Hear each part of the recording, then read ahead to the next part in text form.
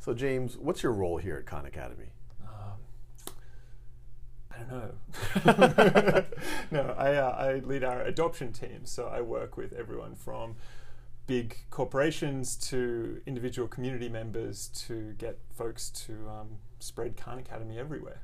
And what does that like? What does that mean on a day-to-day basis, or on a project-by-project basis? Well, the project at the moment, the entire project-by-project basis at the moment is LearnStorm, and so that means uh, building a really cool experience that people want to um, get involved with, and working with lots of partners to make it happen. What and, is LearnStorm?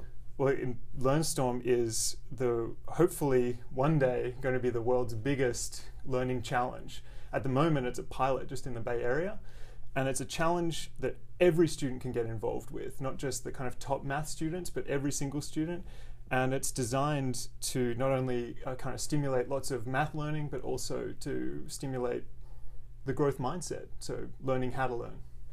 And and how do you like? How, how does that translate on a day to day basis? Like, what, what what's your day like? What was today like? right. Well, today was I bounced between meetings with the team who are working on the big LearnStorm Finals event that's being hosted at Google, uh, to uh, working with uh, AT&T Foundation who came by to talk about maybe helping us scale it in the future to then uh, talking to a bunch of volunteers who are going to be helping out on the day, and then talking to you and uh, Shantanu about things that we have coming up in the future. And and like what what even this pilot, what kind of scale are you already seeing? Right. Well, this pilot was designed to be a very small scale pilot in the Bay Area. We based it on some work out of Ireland, where uh, which was a fantastic program where they managed to capture one percent of all Irish students. Which we, when we translated it to the Bay Area, we thought, well, that's probably about 13,000 students. Uh, we got that in the first week. Uh, and now we're over 73,000 students. So we have, it's really just taken off. And that's what, like seven or eight percent of the eligible students. Yeah, yeah, like about about eight percent. We're hoping to, you know, um, take, go even higher next time. And what else? So, so, so LearnStorm, that's part of adoption. It's a pilot. Yeah. It's something we.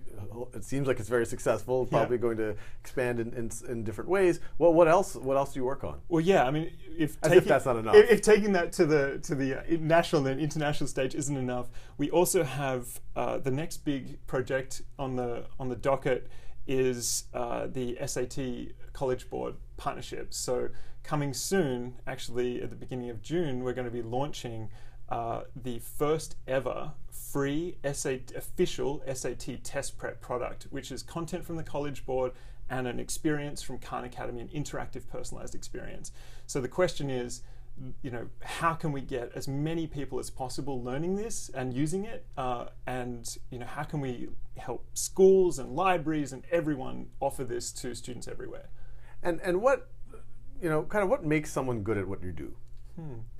I think it's, it's, something I've been thinking about a bit.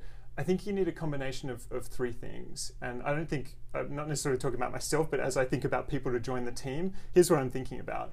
Uh, first, uh, creative strategy. So you need to be able to think with both the, the right brain and come up with crazy ideas or you know work out uh, the next LearnStorm, but also be structured and, and be able to kind of break that down into all of the thousands of problems that you need to solve in order to make something like that happen. The second thing, though, you need is uh, the ability to uh, work operationally. So it's not enough to come up with a strategy on paper, but you actually need to turn that into a reality, and that involves kind of plans and systems and working with lots of different partners and people and keeping them all uh, in line and, and moving forward. And then I think the third thing you need is a bit of a bit of sales, a bit of a sales mentality, a bit of like the ability to talk to people and uh, and help convince them that what you're doing is really cool. And uh, and I think if you've got all three of those things, then I want you on my team. and what were you doing before this? Well, uh, I was back in Australia back in the day. I had my own kind of startup, actually in the education space. I sold that. I was at McKinsey and Company for quite a few years. And then when I came over to the United States, I worked uh, for a group called Purpose uh, in New York who do online political mobilization. Uh, and then when I came to the West Coast, my wife and I kind of converged on the West Coast of the United States and uh, spoke to you and uh, came here. And then we hired her too. And then well, we hired her too. Yes, right. yeah, I had nothing to do with that. That was, uh, I mean, obviously they It was a strong you guys referral. knew Kate because of me, but it was a strong referral. It was a strong referral. And, and and you know you've been here a little bit now. Uh, Yeah, like two and a half years almost. What, what what's surprised you about the experience? Um, I think uh, it feels amazing to be at the center of things that are changing. It didn't surprise me. It surprised me how much uh, we that is really true. That the network of Khan Academy, the people who we, we get to talk to. I mean, we're a small startup, but I think we sometimes are able to punch with a, a, a much above our weight because uh, there are you know people who believe in us and people who really want us to do well, and the the amount of positivity behind Khan Academy, I think, would surprise anyone. Like when you meet the the kind of students who are working, or you meet like the people from big corporations who want to help out. It's it's just that um, level of positivity. I hoped was here because I certainly felt it, but I think it's it's definitely out there in the world. And you know, LearnStorm's one thing, but what are you most excited about in the near term and even a little bit further out? Oh man, I think what I'm most excited about is scaling up our ability to do things like LearnStorm. I think Khan Academy has this incredible uh, product team, you know, able to make magic happen. Um, I think we have a, an amazing team on the on the program side too, um, but I think we've traditionally uh, built uh, products and let them speak for themselves, and that's been great. And it's it's, it's you know gone a huge way. Um, but I think what we have the opportunity to do is create uh, context for those products to be um, used in, and whether it's the SAT or whether it's LearnStorm, whether it's something else. Um, I, I'm really what I'm most excited about doing is just making sure as many people as possible can can use Khan Academy by doing things like that. Yeah, no, I'm with you. Well, thanks for being part of this adventure. It's been an honor. Thank you. Thanks for having me. So, James, what's your role here at Khan Academy? I don't know. no, I, uh, I lead our adoption team. So I work with everyone from big corporations to individual community members to get folks to um, spread Khan Academy everywhere. And what is it like? What does that mean on a day-to-day basis, or on a project-by-project basis? Well, the project at the moment, the entire project by project basis at the moment is LearnStorm. And so that means uh, building a really cool experience that people want to um, get involved with and working with lots of partners to make it happen. And- What is LearnStorm?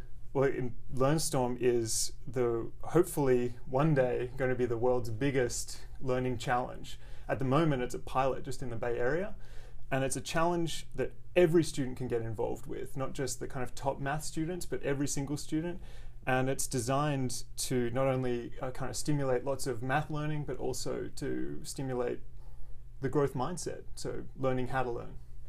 And and how do you like? Wh- how, how does that translate on a day-to-day basis? Like, what, what what's your day like? What was today like? For? Right.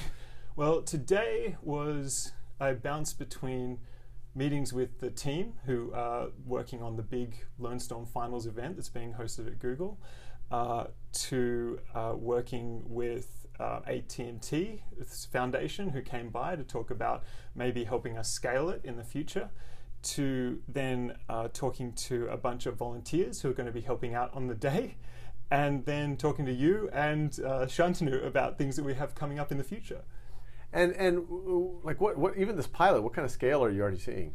Right. Well, this pilot was designed to be a very small scale pilot in the Bay Area. We based it on some work out of Ireland, where uh, which was a fantastic program where they managed to capture one percent of all Irish students. Which we, when we translated it to the Bay Area, we thought, well, that's probably about thirteen thousand students. Uh, we got that in the first week. Uh, and now we're over 73,000 students. So we have, it's really just taken off. And that's what like seven or eight percent of the eligible students. Yeah, yeah, like about about eight percent. We're hoping to, you know, um, take, go even higher next time. And what else? So so LearnStorm that's part of adoption. It's a Yeah. pilot. It's something we. It seems like it's very successful. Yeah. Probably going to expand in, in, in different ways. Well, what else? What else do you work on? Well, yeah, I mean, if As if that's not enough. If, if taking that to the to the uh, national and international stage isn't enough, we also have uh, the next big project on the on the docket is uh, the SAT College Board partnership. So, coming soon, actually at the beginning of June, we're going to be launching uh, the first ever free SAT, official SAT test prep product, which is content from the College Board and an experience from Khan Academy, an interactive personalized experience. So the question is, you know, how can we get as many people as possible learning this and using it? Uh, and, you know, how can we help schools and libraries and everyone offer this to students everywhere? And, and what, you know, kind of what makes someone good at what you do? Hmm. I think it's, it's something I've been thinking about a bit. I think you need a combination of, of three things. And I don't think, I'm not necessarily talking about myself, but as I think about people to join the team, here's what I'm thinking about. Uh, first, uh, creative strategy. So you need to be able to think with both the, the right brain and come up with crazy ideas or you know work out uh, the next LearnStorm, but also be structured and, and be able to kind of break that down into all of the thousands of problems that you need to solve in order to make something like that happen. The second thing, though, you need is uh, the ability to uh, work operationally. So it's not enough to come up with a strategy on paper, but you actually need to turn that into a reality, and that involves kind of plans and systems and working with lots of different partners and people and keeping them all uh, in line and, and moving forward. And then I think the third thing you need is a bit of a bit of sales, a bit of a sales mentality, a bit of like the ability to talk to people and uh, and help convince them that what you're doing is really cool. And uh, and I think if you've got all three of those things, then I want you on my team. and what were you doing before this? Well, uh, I was back in Australia back in the day. I had my own kind of startup, actually in the education space. I sold that. I was at McKinsey and Company for quite a few years. And then when I came over to the United States, I worked uh, for a group called Purpose uh, in New York who do online political mobilization. Uh, and then when I came to the West Coast, my wife and I kind of converged on the West Coast of the United States and uh, spoke to you and uh, came here. And then we hired her too. And then well, we hired her too. Yes. yeah, I had nothing to do with that. That was, uh, I mean, obviously they it was a you strong referral. Kate because of me. But it was a strong referral. It was a strong referral. And and and you know you've been here a little bit now. Uh, yeah, like two and a half years almost. What, what what's surprised you about the experience? Um, I think uh, it feels amazing to be at the center of things that are changing. It didn't surprise me. It surprised me how much uh, we that is really true. That the network of Khan Academy, the people who we, we get to talk to. I mean, we're a small startup, but I think we sometimes are able to punch with a, a, a much above our weight.